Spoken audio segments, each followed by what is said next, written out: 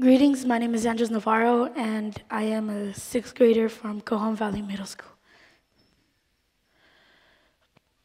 My invention is the LWSG, and for those that you don't know what it is, is the lightweight smart glasses. And what inspired me of these glasses is my great grandfather. He unfortunately got shot, and the machines to help him for his health weren't ready. So, two days later, unfortunately, he passed away. Maybe you're wondering who are these glasses for?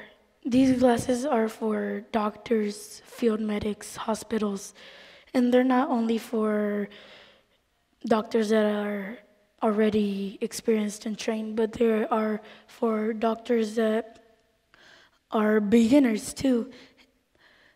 What does it do? These glasses um, helps people. You put them on, and first it takes an X-ray of the body and what is wrong with your body.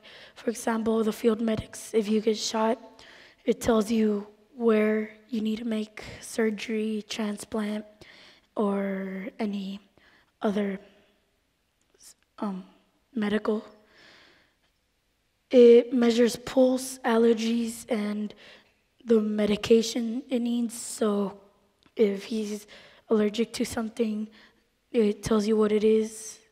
And the two is the two little um, screens.